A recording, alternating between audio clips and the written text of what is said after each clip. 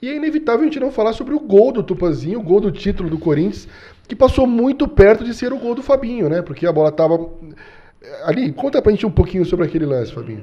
Não, é, é, o Tupã, eu tenho que fazer um acerto com ele quando encontrar pessoalmente, porque eu falo pra ele, falei, só dou moral pro Tupã. Ele, ele só me quebra. Ah, o Fabinho errou o chute e tal. Eu falei, Tupã, Assistência. deixa assim. Deus, Foi uma fez, assistência. Deus, Deus fez a coisa certa, no É. momento certo. Fez o gol o cara que merecia, o cara que, o cara que no grupo era símbolo de humildade, é um símbolo de, de, de, de, de, trabalho e como, como que se adaptou muito bem é, no, no processo. E ele acabou livrando minha cara, né? Porque na realidade era para mim fazer o gol, perdi o o, gol. na verdade, todo mundo às vezes pensa que foi o Zete, né, que defendeu o chute, Não, mas bateu na Cafu- perna do bateu na Cafu. perna do Cafu, né?